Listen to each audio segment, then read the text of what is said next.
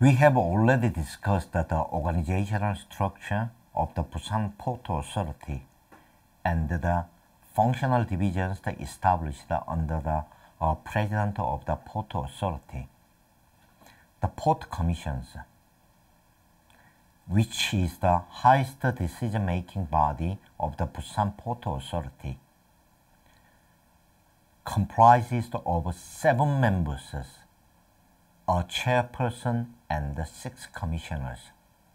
The Port Commissions is uh, re responsible for uh, deliberating and deciding on key issues and uh, recommending peoples for memberships to the Port Authority, recommendation of the executive members of the Port Authority.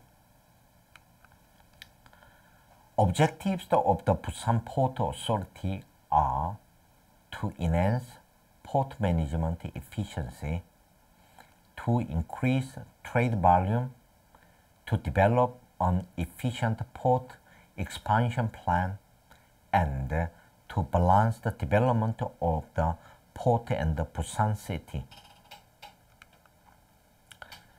This picture shows the Busan New Port Development Project eh, from 1995 to 2021. Building 40 container berths and 5 general cargo berths over draft of 17 meters with a total budget of 16.7 billion US dollars. Along with the Busan New Port project, the Busan Port Distripark, a logistics park with a free trade zone, has been implemented to develop port-centric logistics activities with uh, lucrative uh, incentives and uh, tax benefits. The need for and presence of port authority can be argued in many ways. Do we actually need the sort of port authority that exists today? If not, why not privatize them wholesale by opening them to the highest bidder? The public sector justifies that the government of the port authority with respect to property rights. The need for planning the significance of public goods uh, dealing with externalities and promoting efficiency. Looking at the property rights, many areas of water are covered by legal or customary uh, rights of free navigation and fishing. Those who simply put up a port structure extending into the water generally have no legal right to the sea bottom upon which it was founded, nor to the water columns through which it passes. Therefore, legal security is required for the construction of port facilities in the form of property rights.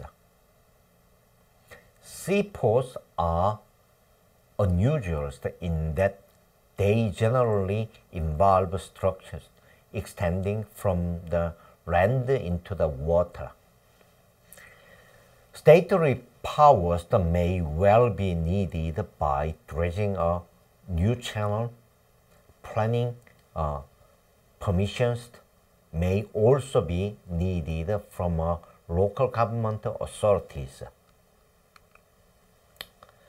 The need to plan requires the critical task that need specialized expertise, such as uh, dredging, accurate forecasting and managing interactions with external factors such as uh, safety and pollution due to the nature of public goods and uh, services such as uh, uh, street right and defense, where the public bears the, the cost irrespective of usage. Ports must consider the public interest. Port business and related activities result in numerous uh, consequences such as pollution, congestion, safety issue, visual intrusion, and so on. These consequences that require the proper management for the good of the public. In order to, uh, in order to promote efficiency, the principal means of doing so will be through competition, not through the direct management of the port facilities. Therefore, the port authority must be ensured that there is a fair competition without cartels, mergers, and other forces. On the other hand, there are arguments against the public sector governing port authority. First, a public body established and appointed by some level of government is a, a bureaucracy with all of its disadvantages. Next, to its own survival, the main objective of such a, a body is to expand. However, there are uh, diseconomies in having essentially the unrelated activities that carried on within the same organization. Furthermore, most official bodies that serve special functions, meaning that they are not subject to the ordinary rules of the market. Their ability to make profits tools stems from a, a, combination of uh, uh, monopolistic, monopolistic positions. Finally, most port authorities are unable to justify their structure of port charges. Some other common issues related to public sector entities, such as monumental syndrome, diffusion of responsibilities, corruption, merely the following rules and regulatory captures are also applicable for port authority governed by the public sector. The next case uh, study is uh, on the Busan Port hinterland complex, uh, which we discussed the previously under the Busan New Port Development Project. As port begins performing more duties and start to provide added value services. They can be expanded to create hinterland complexes, which have both direct and indirect relations with ports. A supply chain that connects the supply of raw materials to the sales of goods must be established in order to uh, build a low-cost production networks or production base. Ports have never been more important in this matter. Therefore, a platform is placed in and around the ports for all international transactions, such as procurement, production, sales and consumption. The Busan New Port Distripark provided tax-intensive and benefits to investors to provide value-added services utilizing the available hinterland. We can observe potential effects of the hinterland complex by looking at similar projects in other ports, such as the Jebel Ali Free Zones in Dubai, which houses 6,400 businesses from 120 countries, creating 160,000 jobs.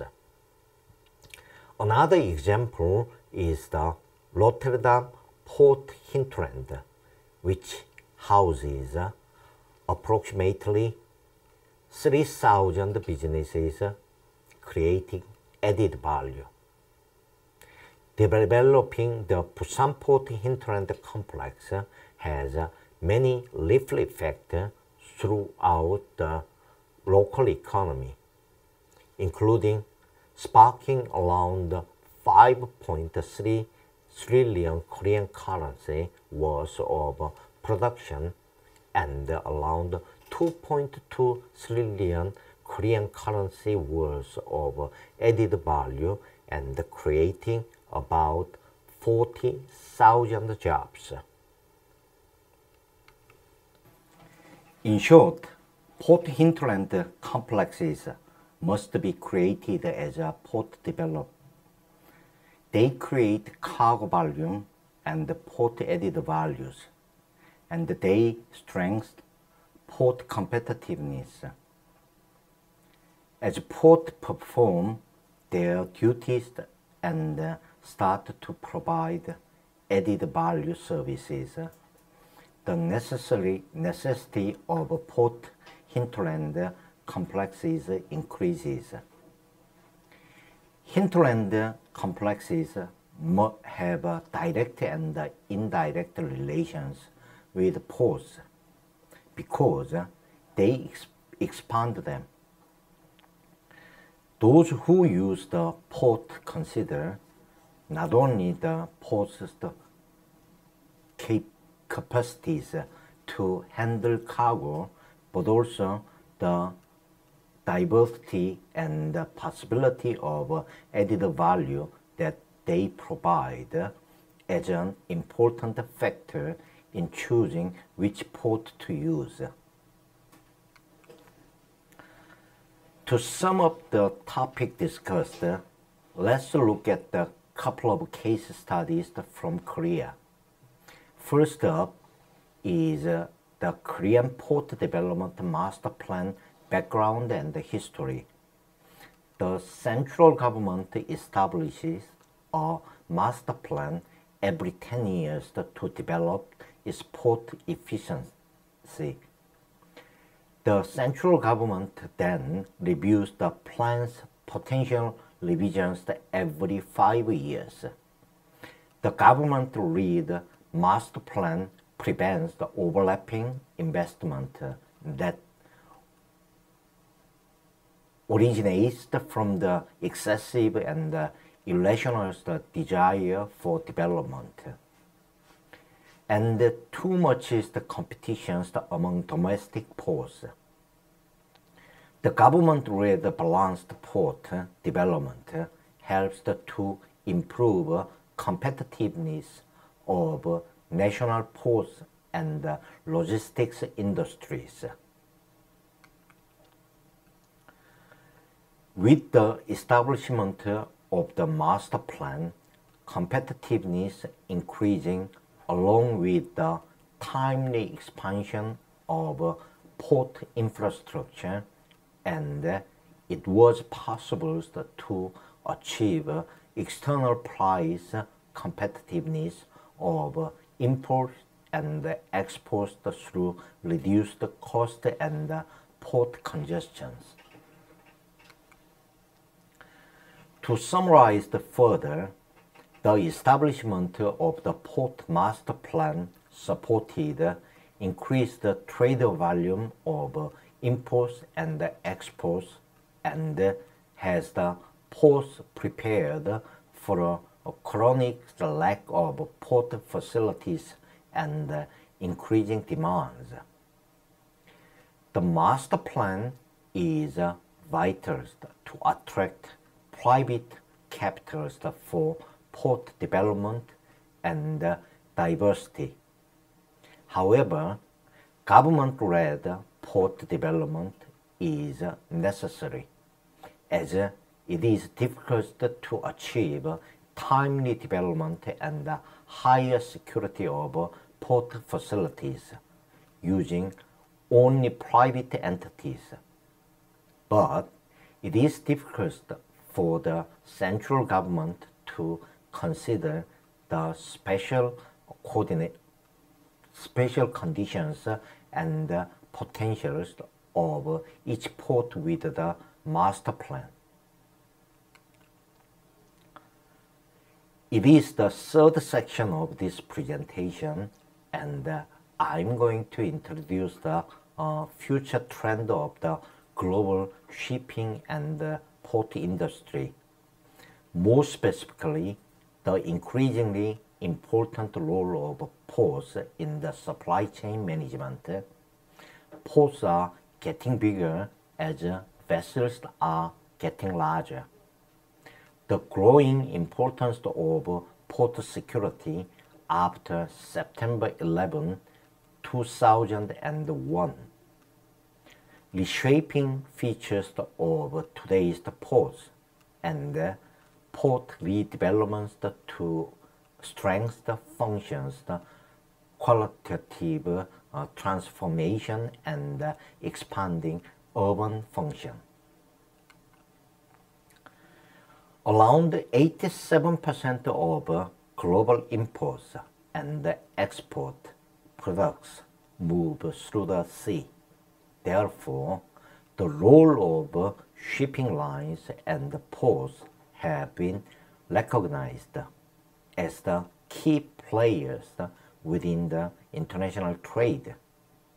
However, the main functions of ports has been limited within warehousing and as a node for a multimodal transport system. Have you ever heard of port-centric logistics? Port-centric logistics describes the positioning of logistics and the distribution services when goods arrive. It is considered as an alternative to inland depot and centrally located national distribution centers. It is allow you to store your shipment at the port itself and decrease the number of handling stages throughout your storage and distribution process, saving time and money. Port-centric logistics is increasingly being considered as a way for business to streamline their supply chains and uh, reduce their impact on the environment. For many organizations, port-centric logistics aims to remove unnecessary freight miles. It is understood that ports are a critical place to increase value-added uh, activities in the whole supply chain. This slide shows how the size of container ships have increased in the last 30 years. Since the Maersk, the biggest container shipping line in the world, introduced a 7,400 TEU container in the mid-1990s. container size in 2020 have tripled and uh, 22,000 TEU container ship is quite normal. Due to the economies of scale, shipping lines will deploy larger vessels to save money through the reduction of unit cost per TEU. However, it also generates higher cost in other parts of the supply chain. For example, container ports need to provide deep water, longer berths, and larger cranes to facilitate bigger vessels. Shipping lines are the main customers for ports. Port followings to attract larger ships will lag amongst local and regional competitors. Since September 11, 2001, strong and strict regulations of port security have been introduced by the US government, which including CTPAT in 2001, 24 hours rules and container security initiative in 2002 ISPS code in 2004, SFI and MI in 2006. Countries and ports who wish to trade with the USA must follow these security regulations. These are some photos which shows selected maritime incidents occurring since the 1960s. Awareness has been uh, raised globally for the maritime sectors to be uh, sustainable or green. The International Maritime Organization has ruled that from 1st January 2020, marine sector emissions in international water be slashed. The marine sector will have to reduce the sulfur emissions by over 80% by switching to lower sulfur fuels. The IMO also announced that, that it will impl implement stronger regulations than before from 2030. How should port prepare these regulations? The Korean government has set up a basic plan to build a green port, which is uh, efficient in energy consumption and low in carbon emissions by using new and renewable energy sources. For this, uh, we set up the objective of 30% reduction compared to business as usual in 2020. In addition, the Korean government created five emission control area, which began controlling vessels' emissions strictly, strictly in Korean ports from September 2020. The future of port will be their economic responsibilities to lead nations both nationally and internationally. Improvement in seaport need to be made economic functions as increasing the producers the surplus of export, increasing the consumers surplus of imports. The measure of the economic efficiency of a port is the aggregate cost of handling cargo through it. The port redevelopment project in Korea was initiated for the following two reasons. Firstly, the life cycle of ports and their function support facilities are short.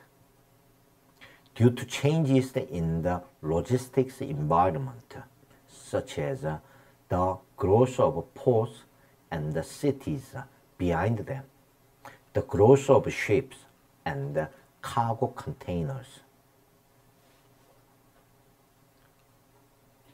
As a result, the number of port facilities with functional decline is increasing, and proper functional uh, convergence is necessary for these ports.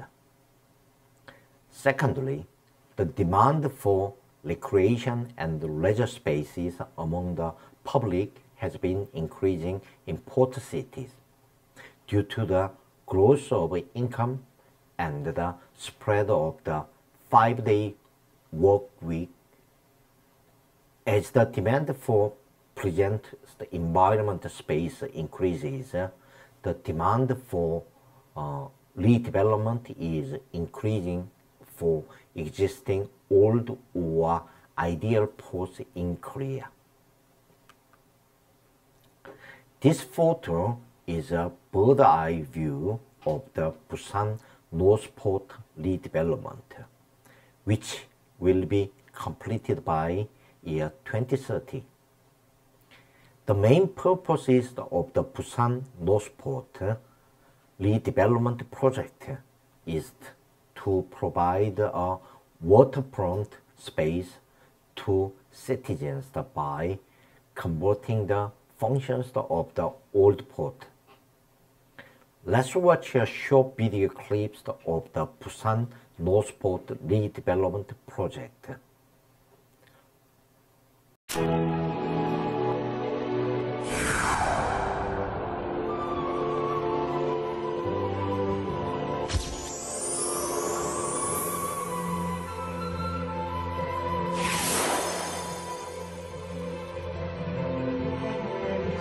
There is a city made of light.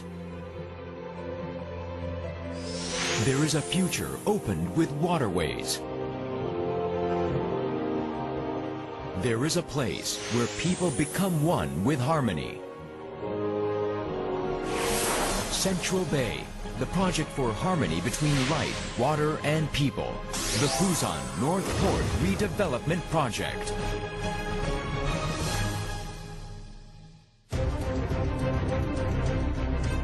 From now on, the future of Busan will be changed completely.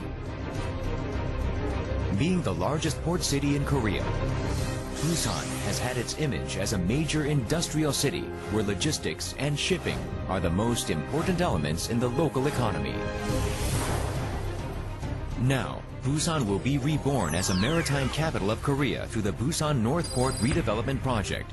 Nearly $7,700 million will be invested in the 1.52 million square meters of the project site, covering Junggu and Donggu. The project is to be completed by 2020.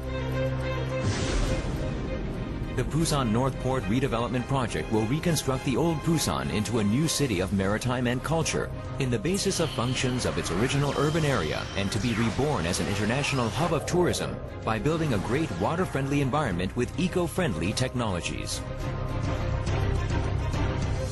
Taking advantage of Korea's geographical feature surrounded by the sea on the three sides, the goal of the project is to transform Busan into the number one maritime hub city in the world.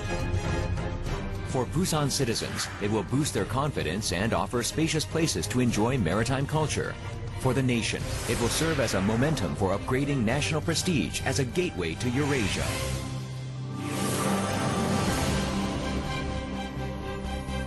To make Korea a global hub for maritime culture, the Busan North Port Redevelopment Project set clear goals as follows.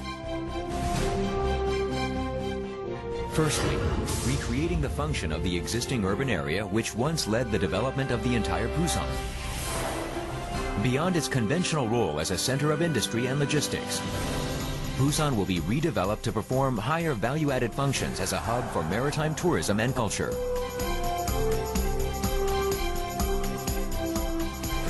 Secondly, constructing an eco-friendly waterfront for citizens.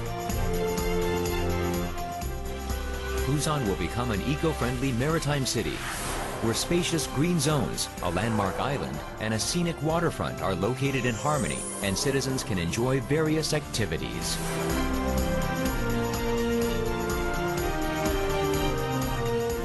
Thirdly, promoting Busan as an international hub for maritime tourism. Busan will be transformed into an international tourist attraction and a maritime cultural mecca where travelers can enjoy beautiful spectacles and diverse amusements.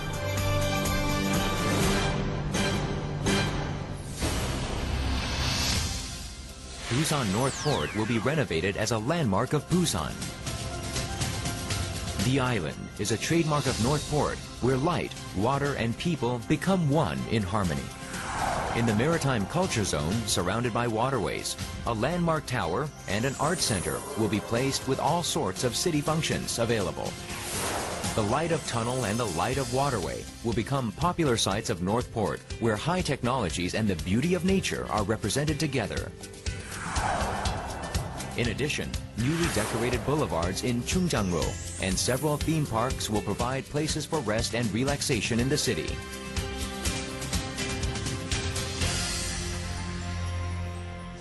Busan North Port will be transformed into a multifunctional maritime city where Busan only has in Korea. With the goal of becoming the most competitive place in the 21st century of harbor renaissance, the port is to equip Harbor Complex Zone with an international passenger terminal and a bay cruise terminal connecting land and sea.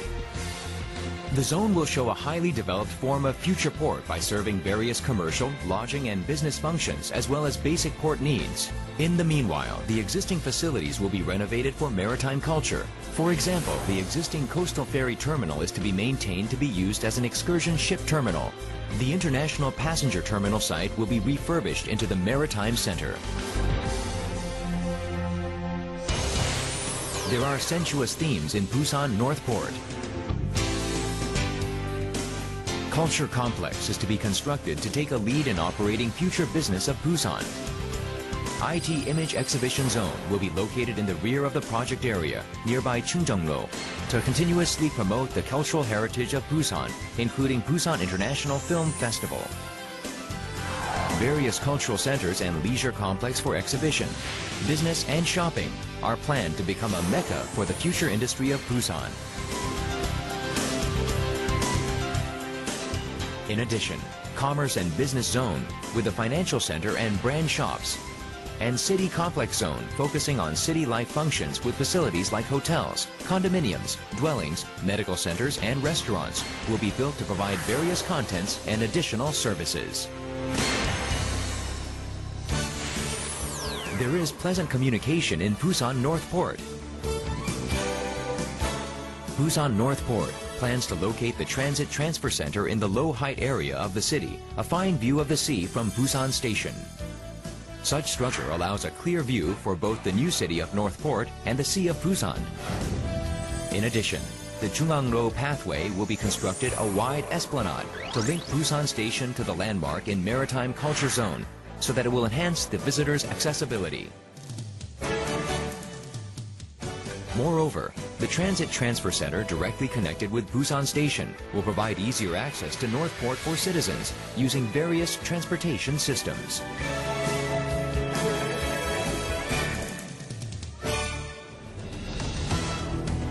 The city of Busan cannot exist without the sea and harbors.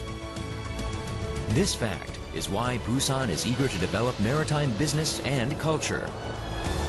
Such important mission can be successfully performed through the Busan North Port Redevelopment Project. Busan North Port will be redeveloped into a distinguished multi-entertainment zone where commercial areas and water-friendly spaces coexist in harmony. Once the project is complete, it is expected to generate a ripple effect of $24,160 million on the local economy and to create 120,000 jobs, allowing a great opportunity for Busan to become a world-famous waterfront where the cultural industry flourishes. This redevelopment project will not only change the geographic map of Busan, but also transform the entire Busan into a global hub for commerce and trade. Moreover, this project will boost confidence of Busan citizens with a picturesque harbor and attract many tourists from all over the world. It will provide the great opportunity to achieve the status as a maritime country with a high value-added economy.